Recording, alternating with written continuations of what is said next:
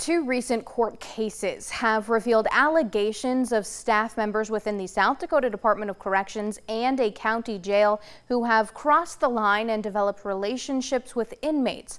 I-Team reporter Beth Warden looks into those allegations and why the family of one murder victim is now raising questions.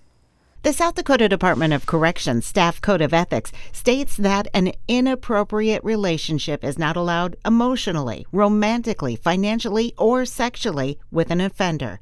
The DOC even requires staff to sign a pledge that they will not engage in inappropriate behavior with inmates. It appears an encounter is more alluring for some staff than the risk of losing their job, a $4,000 fine, or even two years in jail. On September 6, the Bon Homme County Grand Jury filed charges against Cassandra Gelsma of engaging in sexual acts prohibited between prison employees and prisoners. Three witnesses testified, including the inmate involved, Heath Wierdsma.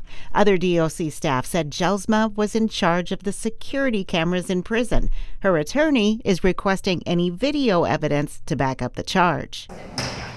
Another inappropriate relationship surfaced at the sentencing hearing for Jackson Phillips on September 8th. An investigator reviewing calls from the Minnehaha County Jail concluded Jackson started a relationship with a nurse at the jail in September of last year. Phillips received a life sentence for the strangulation death of Randy Gerlach. Gerlach's sister Kylie learned of the jail relationship at the hearing. It's another layer of pain to process. I don't know who in their right mind as an employee would even want to take that step and even put themselves into such a position, you know, knowing what he's in there for. She questions Phillips' motives. Is that how he could potentially make an escape plan? While Phillips' relationship did not lead to additional charges, in the state prison system, an offender involved in sexual misconduct can be put on restrictive housing for up to 10 days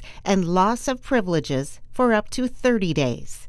In Sioux Falls, Beth Warden, Dakota News Now.